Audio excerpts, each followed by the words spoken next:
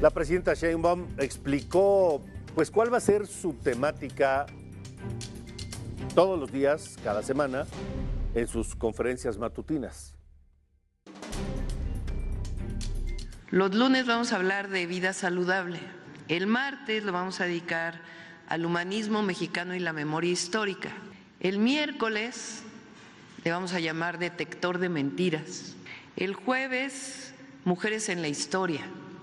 Y el viernes le llamamos suave patria.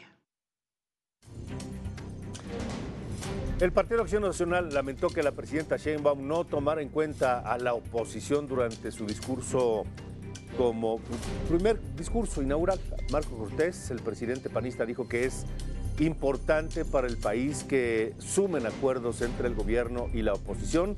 Resaltó que el PAN representa al 43% de los mexicanos que no votaron por la continuidad de Morena.